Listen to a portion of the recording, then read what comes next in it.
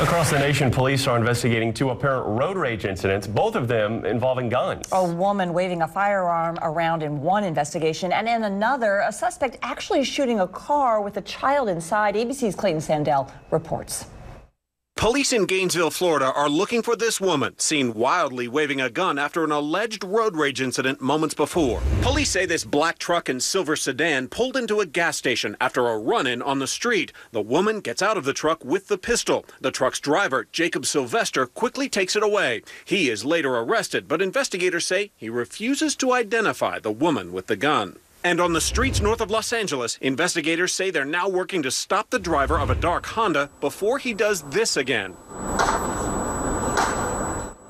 In another apparent case of road rage, he fires twice at the family inside this white SUV, including a child. The driver shot at her armed with type of black handgun. The suspect enraged, police say, because the SUV apparently sprayed his car with windshield wiper fluid. The level that this incident took was quite alarming to us, and uh, I couldn't imagine what it would be like in a vehicle and being fired upon just driving with your family members. It had to have been terrifying. Road rage incidents can quickly take a violent, deadly turn.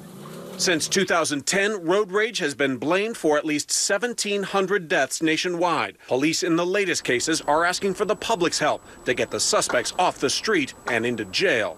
Clayton Sandell, ABC News, Denver.